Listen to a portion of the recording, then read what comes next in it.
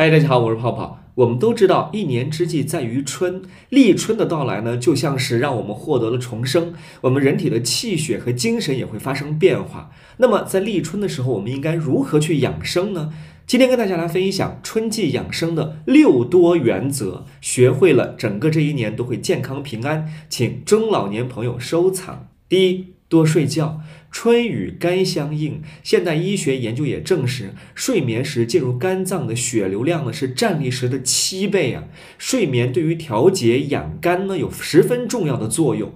睡眠不够或者休息不好会导致肝火上炎，所以立春呢要按时睡觉，不要熬夜，不要过分劳累，否则呢容易损伤肝脏。第二，多穿衣服。春天孩儿脸，一天变三变。立春后啊，天气多变，早晚温差大，老百姓都讲究春捂，就是说天刚转暖的时候，不要过早的少衣物，以防春寒损伤出生的阳气。年老体弱的人换装的时候更要审慎，不可骤减。春季穿衣呢，宜下厚上薄，也就是说，春天增减衣物的时候，应该注意保护好腿脚以及下半身，而上半身的衣物呢，可适当减少，以助。春阳生发之势。第三。多吃甘平的食物，春季养生重在护肝，肝火过旺容易导致肝胃不和，因此立春时节饮食宜清淡，忌油腻、生冷以及刺激性的食物。唐代医学家孙思邈他撰写的《千金食志》当中呢，讲到了春季肝旺之时要少食酸性的食物，否则会使肝火更旺，伤及脾胃。此时可以多食一些性味甘平的食物，可适当。配吃一些清洁里热、滋养肝脏、补脾润肺的食物，如枇杷、梨、薏仁、荠菜、香蕉等等。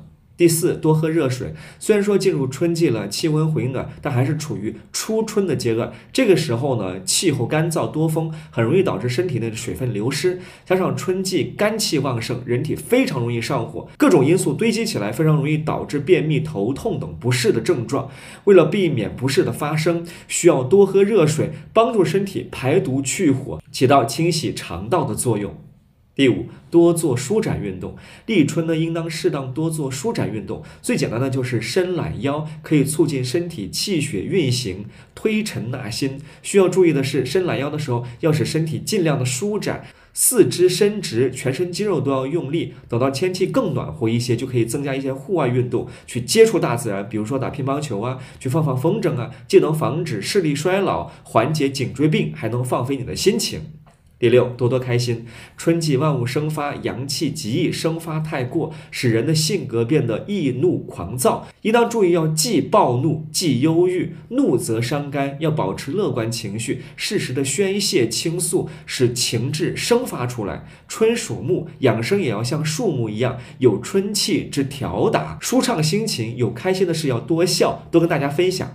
好，以上就是春季养生的六多，希望对你们有帮助。我是泡泡，拜拜。